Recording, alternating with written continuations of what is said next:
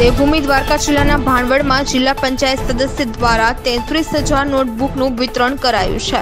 Notebook વિતરણ દરમિયાન અન્ય આગેવાનો, સામાજિક કાર્યકર્તાઓ અને સ્કૂલનો સ્ટાફ તેમજ વાલીઓ પણ નોટબુક વિતરણમાં ઉપસ્થિત રહ્યા હતા. અગાઉ પણ ગરીબ પરિવારોને લગ્ન માટે કર્યાવર અને કોરોના કાળ દરમિયાન હજારો લોકોને મદદરૂપ થયા હતા.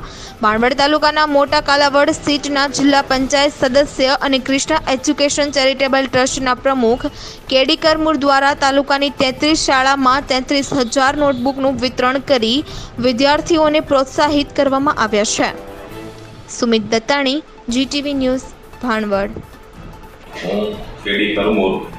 જિલ્લા પંચાયત સદસ્ય, દેવભૂમિ દ્વારકા, મોટા કલાવડ અમારા trust Shri Krishna charitable and education trust દ્વારા મોટા કલાવડ જિલ્લા પંચાયત સીટ ઉપરાંત ભાણવડ તાલુકાના પ્રાથમિક શાળાઓમાં તેત્રીસ હજારથી પણ વધારે નોટબુકનું વિતરણ કરવામાં આવ્યું છે.